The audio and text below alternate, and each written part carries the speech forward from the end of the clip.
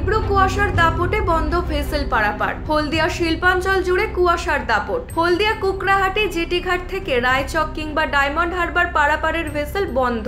তীব্র কুয়াশা থাকায় সকাল থেকে ভেসেল চলাচল বন্ধ। জেটিঘাটে অপেক্ষায় যাত্রী সাধারণ। এই ভেসেল পারাপারের মাধ্যমে দক্ষিণ চব্বিশ পরগনার ডায়মন্ড হারবার কিংবা রায়চকের সঙ্গে সম্পর্ক স্থাপন করেছে এই ভেসেল পারাপারের মাধ্যমে দক্ষিণ চব্বিশ পরগনার ডায়মন্ড হারবার কিংবা রায়চকের সঙ্গে সম্পর্ক স্থাপন করেছে পূর্ব মেদিনীপুর জেলার কুকরাহাটি সকাল ছটা সাড়ে ছটা সাতটা কিংবা সাড়ে সাতটার ভেসেল কোনোটাই ছাড়া যায়নি। কুয়াশা না কমলে ভেসেল পারাপার করতে পারবে না, এমনটাই বার্তা। হুগলি নদীর দুপারে জেটি ঘাটগুলোতে ব্যাপক যাত্রীর ভিড় রয়েছে। পরিস্থিতি সামাল দিতে সুতাহাটা থানার পুলিশ মোতায়েন রয়েছে। সূত্রের খবর, সকাল আটটা পর্যন্ত ভেসেল ছাড়া সম্ভব হয়নি। Bureau report, U Bangla TV. U Bangla TV হৃদয় ছুঁয়ে যায়।